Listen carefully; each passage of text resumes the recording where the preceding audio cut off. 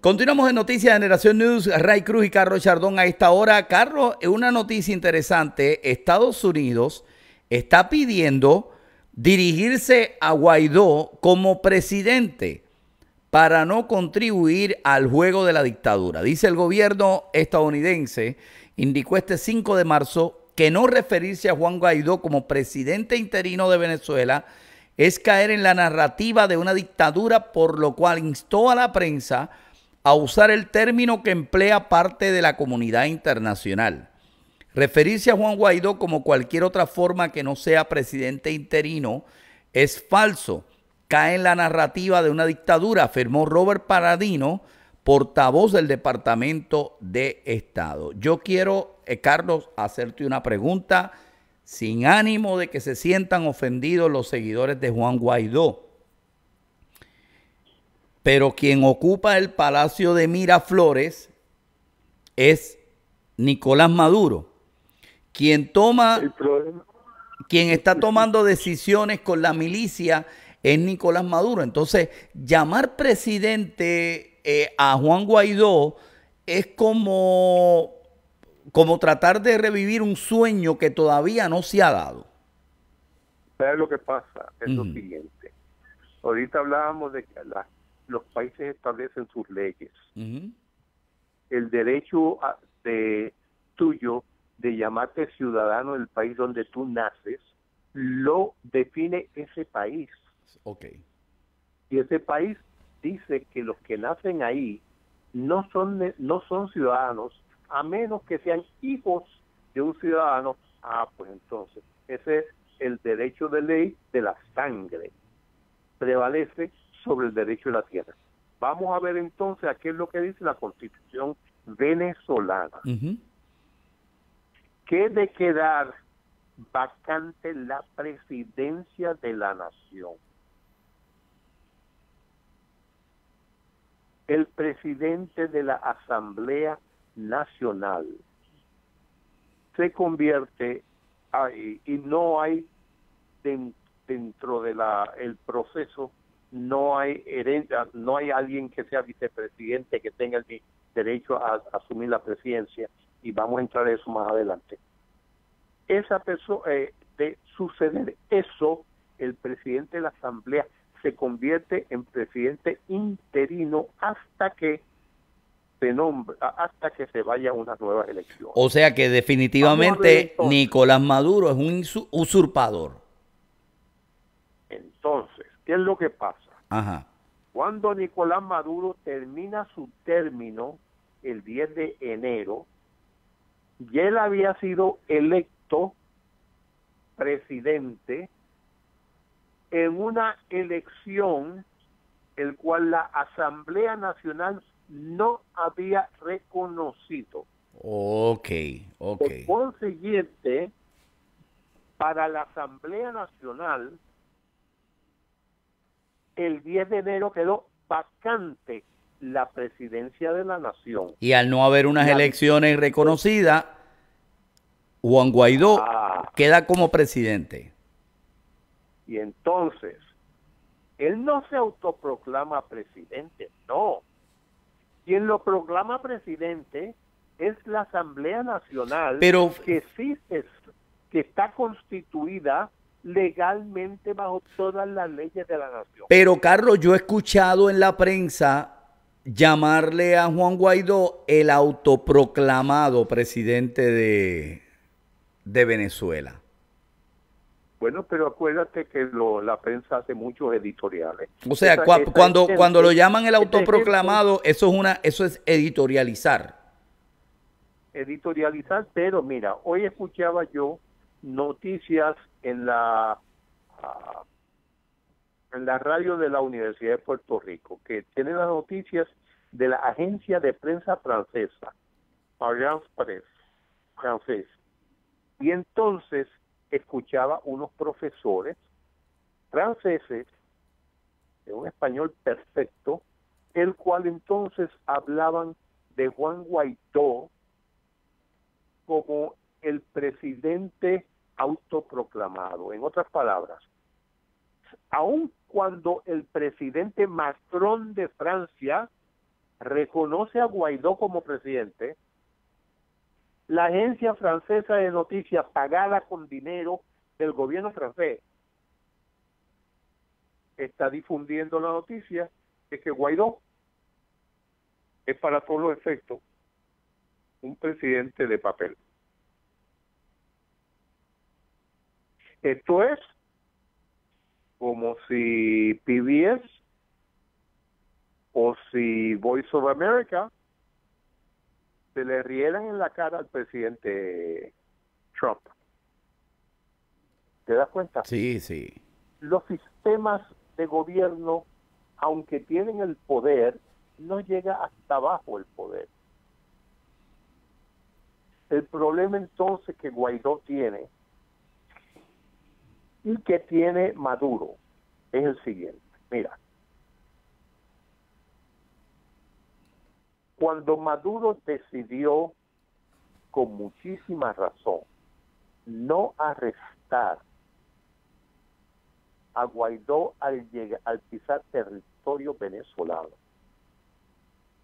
y lo decidió muy correctamente, porque eso hubiera incitado a una revolución que hubiera resultado una matanza de miles de venezolanos por el ejército y por los colectivos.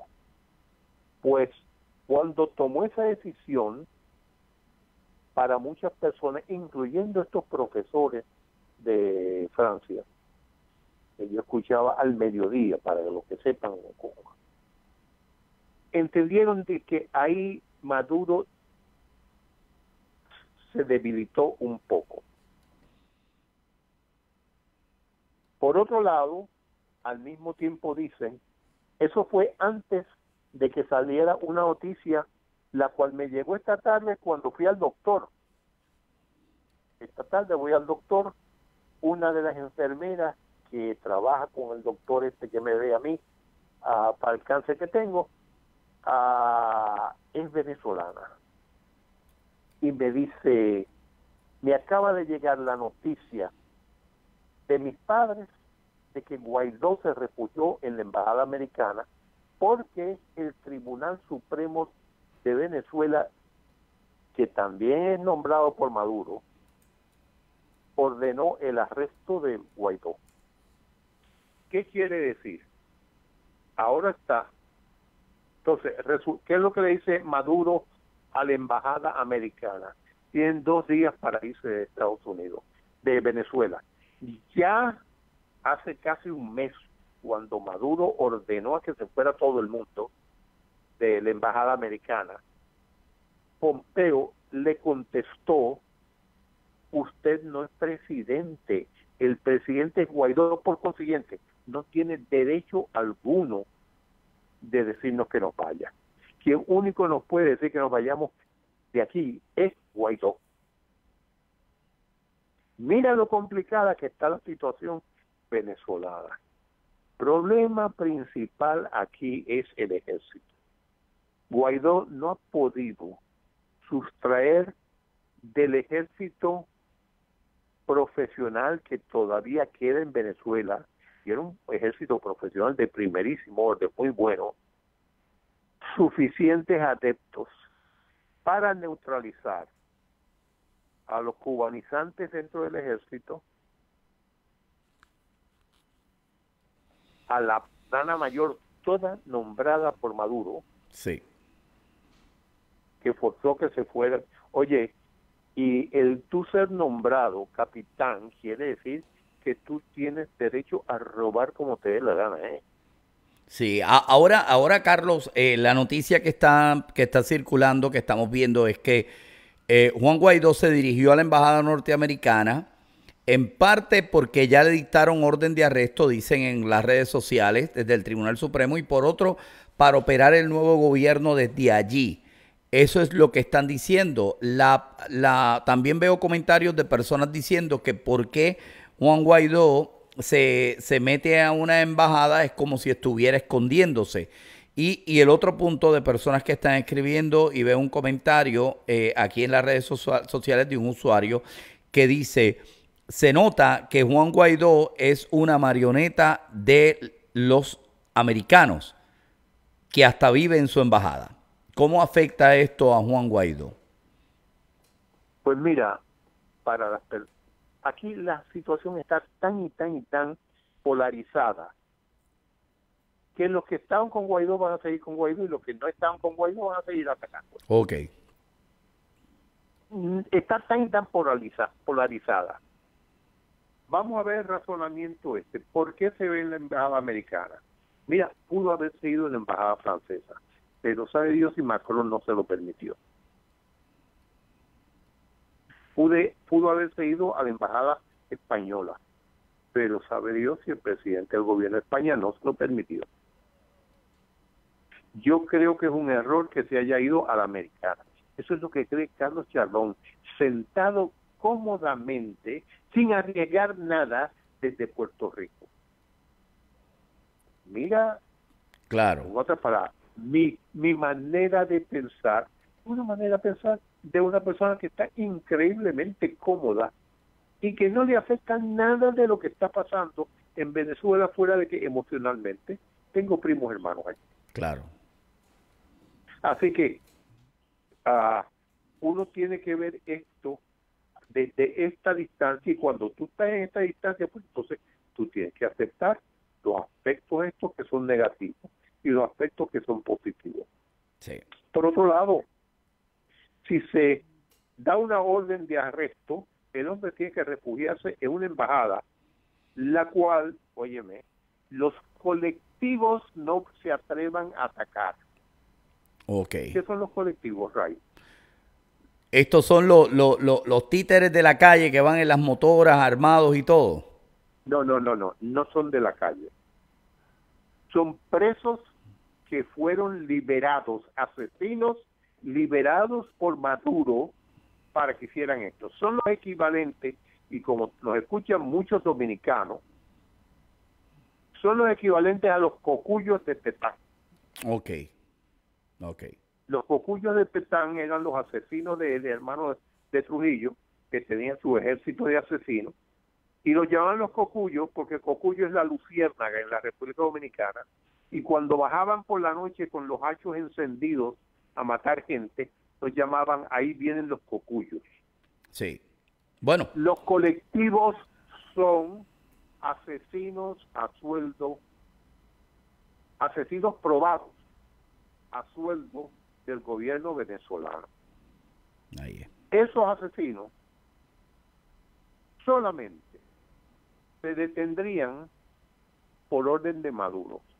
Y Maduro muy bien sabe que si se ataca a la embajada americana y algo le pasa allí, el Palacio de Miraflores desaparece en un bombardeo. Vuela en canto. Donde no va a haber ni hormigas.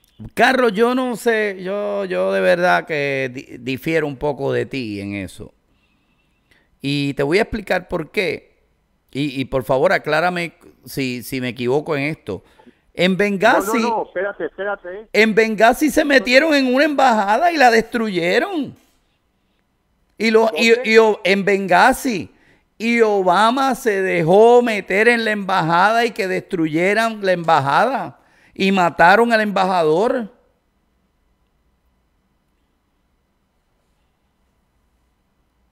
Pues mira, Guaidó se está arriesgando entonces a que le pase eso a él también. Ahora bien, Obama de dónde era? Americano, ¿verdad? Sí. Pero Obama no es descendiente de esclavos americanos, no. No. El padre de Obama era un negro africano de Kenia.